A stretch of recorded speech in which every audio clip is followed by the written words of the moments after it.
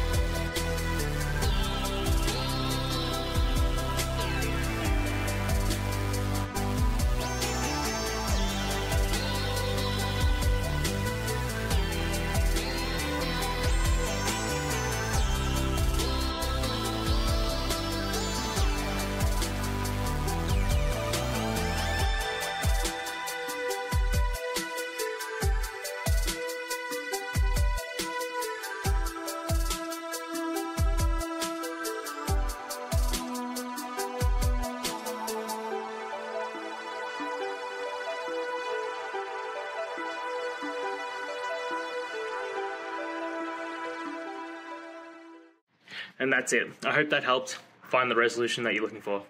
If it did, please hit subscribe. I really appreciate it. And until next time, I hope you have a good one. Cheers.